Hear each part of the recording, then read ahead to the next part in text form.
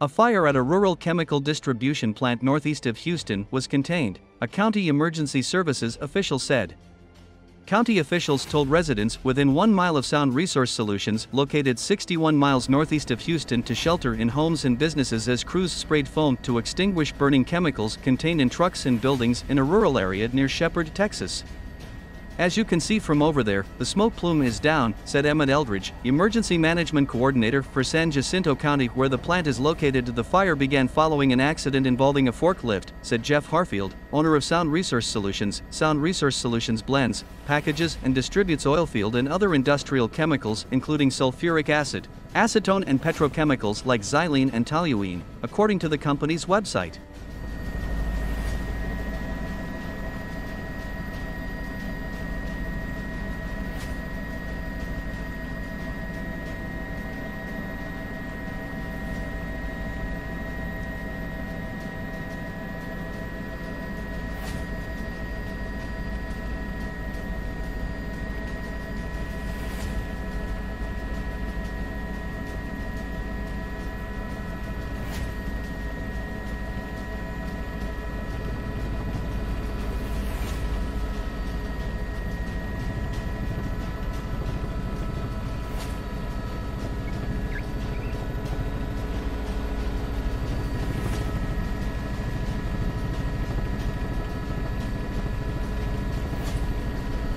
Uh, we got about 20 fire crews out here currently working. Uh, I just seen videos of their, their progress. They're doing a great job.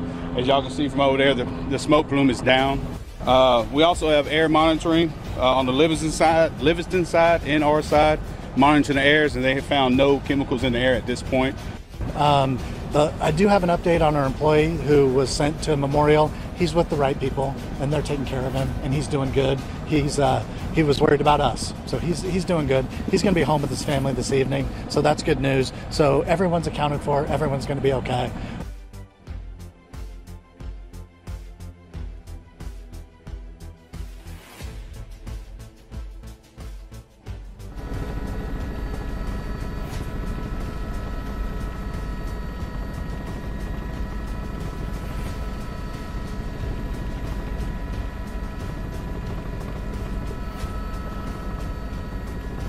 Deal situation is, is it like 15 now?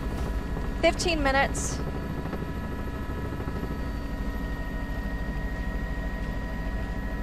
Yes, we're gonna go to Conroe.